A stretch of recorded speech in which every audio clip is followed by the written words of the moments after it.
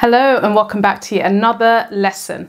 Now, one of the common bits of teacher feedback that tends to really confuse a lot of English students is that they are not analyzing enough in their essays. So often, a lot of students, even the students that I tend to tutor and help, tend to say, okay, miss, I have literally answered the question directly, I've selected a quotation, I've even mentioned, for example, the writer has used a metaphor, they've used a simile, they've used alliteration, yet my teacher is saying, I'm not analyzing enough. I'm completely stumped. I don't know where I'm going wrong.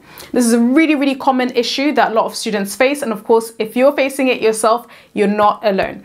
So what I want to show you guys is how to effectively analyze any quotation in any English essay using just three simple steps. Now, with these steps, what I don't want you to confuse these steps for is the entire paragraph structure, okay? When it comes to shaping your English essays and, you know, using whichever paragraph structure that you like. So for example, my preferred paragraph method is the Peel paragraph structure, which I think is perfect, okay? Starting off with the point, evidence, explanation, and then links. So if you use that, then this goes into the second E of your Peel paragraph, the explanation. However, if you use pretzel, if you use peel, if you use petal, etc., etc., in the explanation part of your paragraph.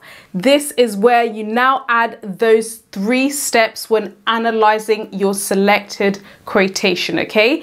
So what I want to show you guys now is I'm going to walk you through the three steps, the three really simple steps you need to take when you're analyzing quotations in your essays. And then I'm going to present you guys with two examples taken from just two random plays. But these examples literally are just kind of to illustrate how I've applied those three steps. These steps can be used for any essay, either, you know, if you're given an unseen language extract or a fiction extract, a non-fiction extract, a play, a novel, whatever, literally you can use these three steps for any text that you are presented with. But I'm just giving two random examples, one taken from Macbeth, the play by Shakespeare, and one taken from an inspector calls by Priestley, okay? But these, these three steps can literally be applied to any extract that you are analyzing, okay? So let's begin by going over the three steps to effectively analyzing any quote within your English essay.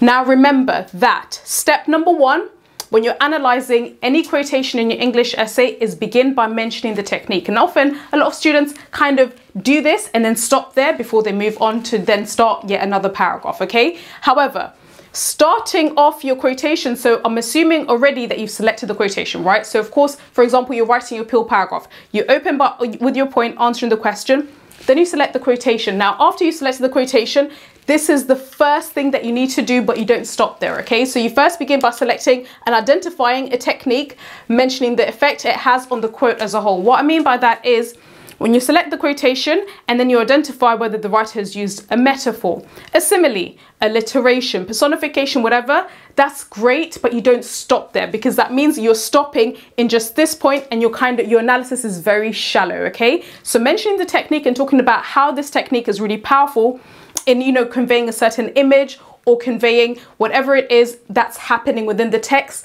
that's great, but that's still just a little bit of analysis. Then you need to then do a bit more of a deep dive in step number two, where when you look at the quotation that you've selected, you've picked out the technique, then zoom in just a little bit more, pick out a word from the same quotation, label that word, and then mention how it suggests or it connotes a certain image or a certain effect or whatever. What I mean by that is, let's say for example, you select a quotation which uses a form of metaphor. Then you look at that same quotation and then say you find the word red within that quotation. And then you want to now zoom in. So you label the red, which is describing a noun, as an adjective. So you mention, for example, you know, the writer uses this really powerful adjective which connotes, which indirectly suggests danger, blood, fear, okay? So when you're mentioning how it connotes something or how it paints an image in our minds, this is now where you're going one layer uh, level or one, one level deeper when you're analyzing, okay? So you start off by talking about the technique, you know, the general metaphor, whatever. But now when you zoom in and then you're talking about, okay, what does this paint in our minds? What does this noun, what does this verb, what does this adjective, whatever do in terms of suggesting something to us?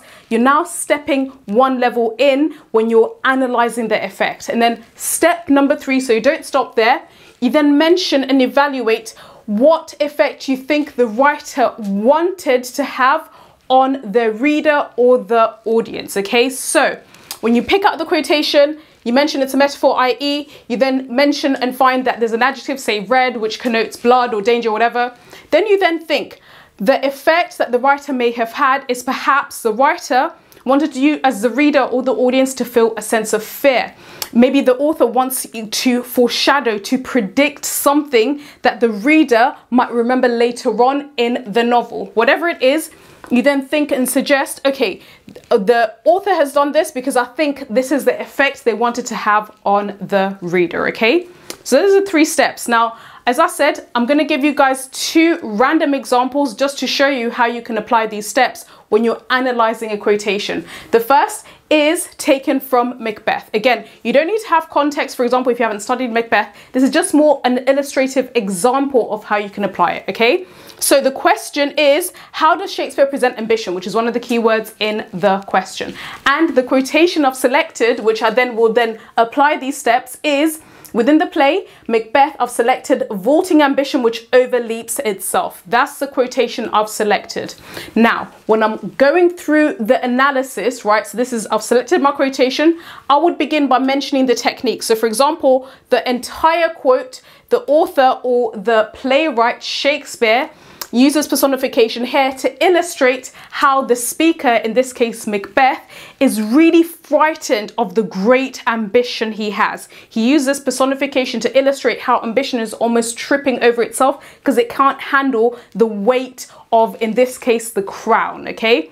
That's step number one, but I don't stop there. Then I then zoom in and I pick one particular word. And in this case, when I'm looking at this quotation, I think the adjective vaulting, which describes ambition, is really powerful. Again, what this is doing is it's connoting how this ambition is way too vast, way too great for the speaker Macbeth to handle. But then I don't stop there. I then mention when it comes to Shakespeare's intent for his audience, I will then perhaps mention that Shakespeare wants to illustrate how ambition can be quite a frightening thing to hold and to have, okay? And what maybe Shakespeare is trying to intend for his audience to think about is maybe it's not a great idea to be ambitious because if you then get what you want, maybe you're not going to be able to handle the power that comes with it, okay? So that's my first example. However, the other example I want to show you is taken from a play called An Inspector Calls, okay? And the question being, how does Priestley present social responsibility? Again, you don't need to be familiar with this play. I'm just going to walk you guys through how you can apply these three steps. So the quotation of selected taken from this play is uttered by or is said by a character called Inspector Goole. And this character says, we are members of one body. So I then begin, I would, if I were writing about this and talking about social responsibility, the idea that we need to look after each other, especially we need to look after people who are weaker or poorer than us, I would begin with this quotation and mentioning the overall effect and the technique of the uh, that's used in the overall quotation. So in this case, the technique that's used is a metaphor. Then when I'm looking at this metaphor, of course, what I would mention is the idea that perhaps the playwright is conveying the message to his audience that we all have some kind of duty to look after each other through this metaphor. However, when I then go one step further in, I would probably pick out this one word, body, which is a noun. And now here, that this noun, what it connotes, the suggestion that it has, is this notion that we're all tied together. When we do one thing to each other, actually everyone else is affected, right? We can't just ignore our duties to each other, for example, right? So that would be the additional layer of analysis I would do.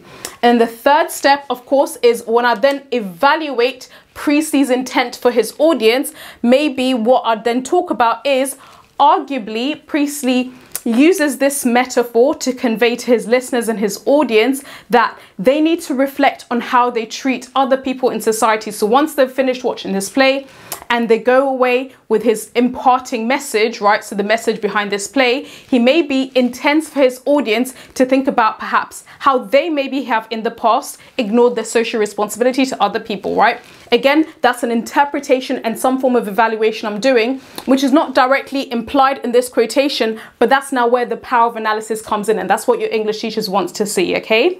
So that's really it when it comes to how to effectively analyze any quotation in your English essays. Make sure you follow these three steps and you will find that your teachers will absolutely love your analysis and this is how you do the deep dive. This is how you go deep when you take one quotation and then you really unpack it when you're analyzing in your English essays. Thank you so much for listening.